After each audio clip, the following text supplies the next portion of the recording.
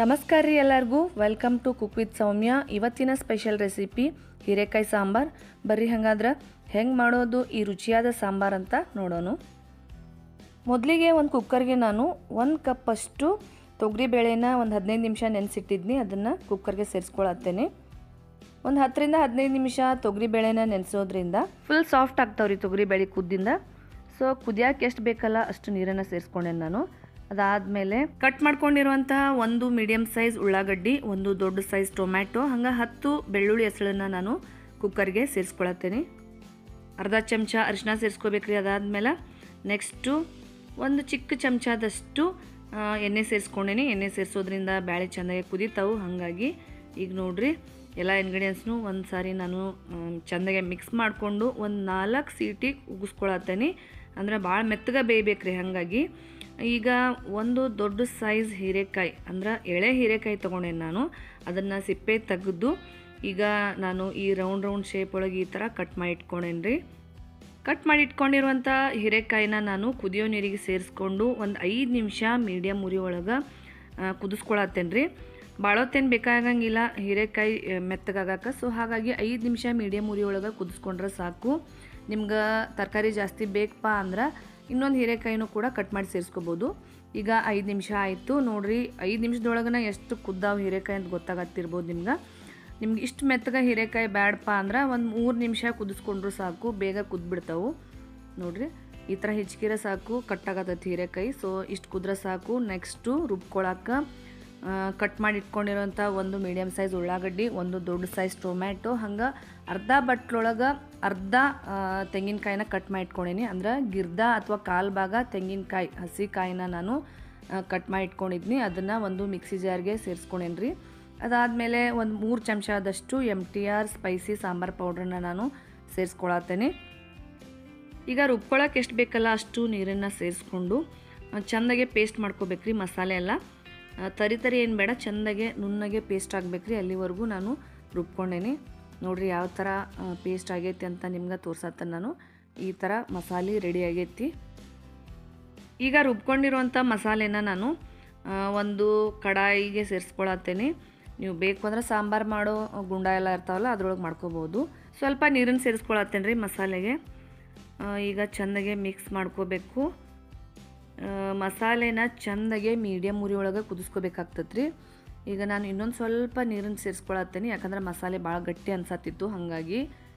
ಈಗ ಚೆಂದಾಗೆ mix ಮಾಡ್ಕೊಂಡಾದ್ಮೇಲೆ medium ಉರಿ ಒಳಗೆ ಐದರಿಂದ ಎಂಟು ನಿಮಿಷ ಚೆಂದಾಗೆ ಕುದಿಸ್ಕೋಬೇಕ್ರಿ. ನಾವು ಹಸಿ ಉಳ್ಳಾಗಡ್ಡಿ, ಟೊಮ್ಯಾಟೊ, ಬೆಳ್ಳುಳ್ಳಿ ಹಾಕಿರೋದ್ರಿಂದ ಹಸಿ ವಾಸನೆ ಹೊಡಿತತಿ, ಹಾಗಾಗಿ ಐದರಿಂದ ಎಂಟು ನಿಮಿಷ ಚೆಂದಾಗೆ ಹಸಿ ವಾಸನೆ ಹೋಗೋವರೆಗೂ ಕುದಿಸ್ಕೋಬೇಕಾಗ್ತತಿ.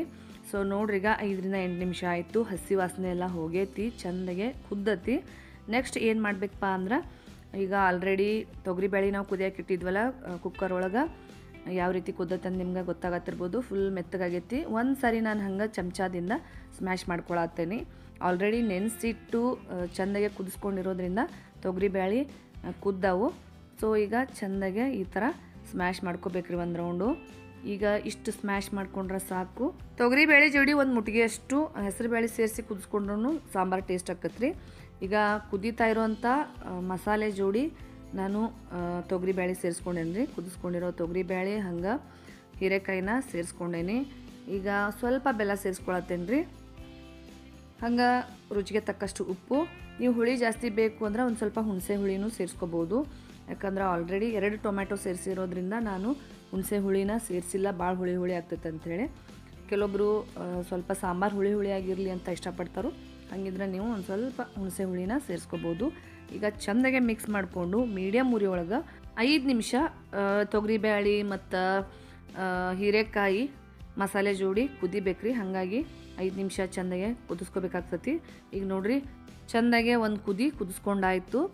ನಿಮ್ಗೆ ಹೀರೆಕಾಯಿ ಜೊತೆ ಬೀನ್ಸು, ಕ್ಯಾರೆಟು, ಆಲೂಗಡ್ಡೆ ಸೇರಿಸ್ಕೊಂಡು ಕೂಡ ಈ ಸಾಂಬಾರನ್ನ ಮಾಡ್ಕೋಬೋದ್ರಿ. ಅಗ್ದಿ ರುಚಿ ಇರ್ತೈತಿ. ಈಗ ನೋಡಿರಿ ನೆಕ್ಸ್ಟು ಒಗ್ಗರಣೆಗೆ ಒಂದು ದೊಡ್ಡ ಚಮಚದಷ್ಟು ಎಣ್ಣೆ ಸೇರಿಸ್ಕೊಳತ್ತೇನೆ. ಎಣ್ಣೆ ಚೆನ್ನಾಗಿ ಕಾದ್ಮೇಲೆ ಒಂದು ಅರ್ಧ ಚಮಚ ಸಾಸಿವೆ ಸೇರಿಸ್ಕೊಳತ್ತೈತ್ರಿ. ಸಾಸಿವೆ ಚಿಟಪಟ ಅಂದಮೇಲೆ ಒಂದು ಮೂರು ಬ್ಯಾಡಗಿ ಮೆಣಸಿನ್ಕಾಯಿನ ಮುರಿದು ಸೇರಿಸ್ಕೊಂಡೇನಿ.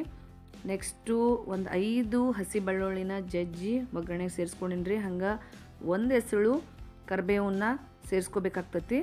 ಈಗ ಇದನ್ನು ನಾನು ಕುದಿಯಾಕತ್ತಿರೋ ಬೇಳೆ ಜೋಡಿ ಸೇರಿಸ್ಕೊಂಡೇನಿ.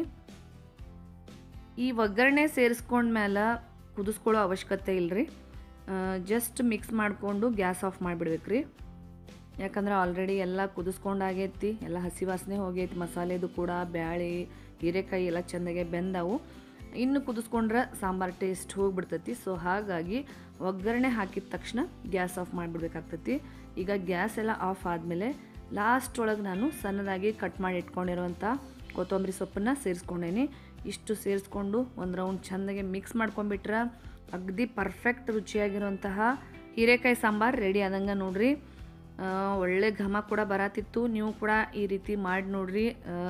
ಅನ್ನಕ್ಕೆ, ರಾಗಿ ಮುದ್ದೆಗೆ, ಚಪಾತಿಗೆ ಎಲ್ಲದಕ್ಕೂ ಒಳ್ಳೆ ಕಾಂಬಿನೇಷನ್ ಅಂತ ಹೇಳ್ಬೋದು. ಅದ್ರ ಜೋಡಿ ನೀವು ಕಟಕ್ ರೊಟ್ಟಿ ಇರ್ತಾವಲ್ಲ, ಜೋಳದ್ದು ಮತ್ತು ಸಜ್ಜಿ ರೊಟ್ಟಿ, ಗೊಂಜಾಳ ರೊಟ್ಟಿ, ಅದ್ರ ಜೋಡಿನೂ ಕೂಡ ಈ ಸಾಂಬಾರು ಮಸ್ತ್ ಒಂದು ಒಳ್ಳೆ ಕಾಂಬಿನೇಷನ್ ಅಂತ ಹೇಳ್ಬೋದು. ಪಲ್ಯ ಮಾಡೋಕ್ಕೆ ಟೈಮ್ ಇಲ್ಲೇ ಇದ್ದಾಗ ಇದೊಂದು ಸಾಂಬಾರು ಇದ್ರೆ ಸಾಕು, ಎಲ್ಲದಕ್ಕೂ ಸೂಪರ್ ಮ್ಯಾಚ್ ಆಗ್ತೈತಿ. ನೋಡಿದ್ರಲ್ರಿ, ಇವತ್ತಿನ ಸ್ಪೆಷಲ್ ಹೀರೆಕಾಯಿ ಸಾಂಬಾರು ಹೆಂಗೆ ಮಾಡೋದು ಅಂತ ನಿಮ್ಮೆಲ್ರಿಗೂ ಇಷ್ಟ ಆಗೈತೆ ಅಂತ ಅನ್ಕೊಳ್ತಾ ಮತ್ತೆ ಸಿಗೋಣಂತ್ರಿ ಮತ್ತೊಂದು ಹೊಸ ಅಡುಗೆ ಜೋಡಿ. ಅಲ್ಲಿವರೆಗೂ ಎಲ್ಲರಿಗೂ ನಮಸ್ಕಾರ ರೀ, ಥ್ಯಾಂಕ್ ಯು, ಧನ್ಯವಾದ.